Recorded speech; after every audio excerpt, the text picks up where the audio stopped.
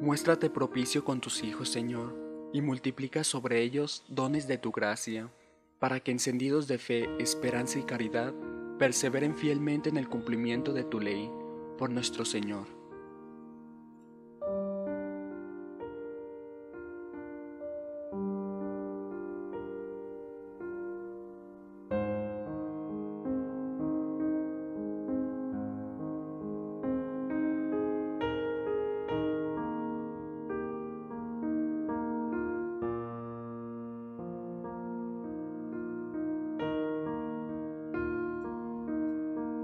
Cuando el Señor nos hizo volver del cautiverio, queríamos soñar.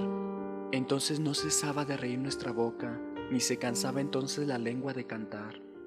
Aun los mismos paganos con asombro decían, grandes cosas ha hecho por ellos el Señor, y estábamos alegres, pues ha hecho grandes cosas por su pueblo el Señor.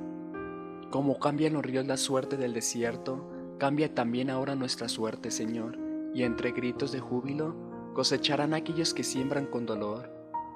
Al ir, iban llorando, cargando la semilla.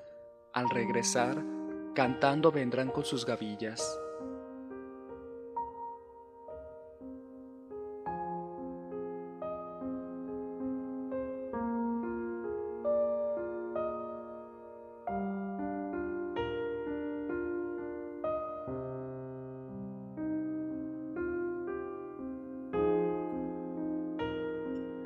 Del Santo Evangelio según San Mateo.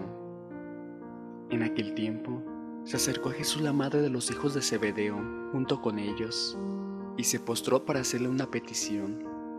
Él le preguntó, ¿qué deseas? Ella respondió, concédeme que estos dos hijos míos se sienten uno a tu derecha y el otro a tu izquierda en tu reino. Pero Jesús replicó, no saben ustedes lo que piden. ¿Podrán beber el cáliz que yo he de beber? Ellos contestaron, sí podemos. Y él les dijo, beberán mi cáliz, pero eso de sentarse a mi derecha o a mi izquierda no me toca a mí concederlo. Es para que mi Padre lo tiene reservado. Al oír aquello, los otros diez discípulos se indignaron contra los dos hermanos. Pero Jesús los llamó y les dijo, ya saben que los jefes de los pueblos los tiranizan y que los grandes los oprimen. Que no se hacía entre ustedes.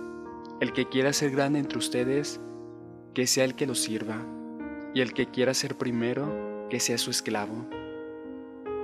Así como el Hijo del Hombre no ha venido a ser servido, sino a servir y a dar la vida por la redención de todos. Palabra del Señor.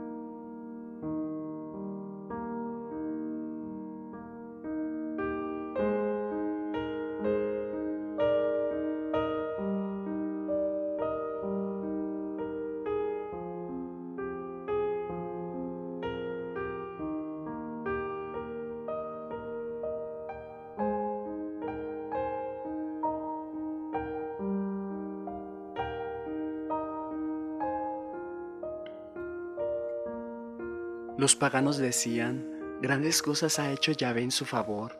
Sí, grandes cosas ha hecho por nosotros Yahvé, y estamos alegres.